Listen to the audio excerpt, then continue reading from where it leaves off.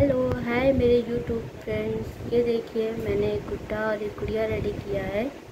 और मैं आपको आज इसको दिखा रही हूँ अगर ये आपको अच्छा लगता है तो आप मुझे कमेंट करिए और बताइए कि मैं इसका रिव्यू डालूँ और मैं आप सबको बताऊँ कि ये मैंने कैसे बनाया है मैंने इसमें क्या मटेरियल यूज़ किया है और आप भी इसको अपने घर में सजाइए बहुत अच्छा लगता है ये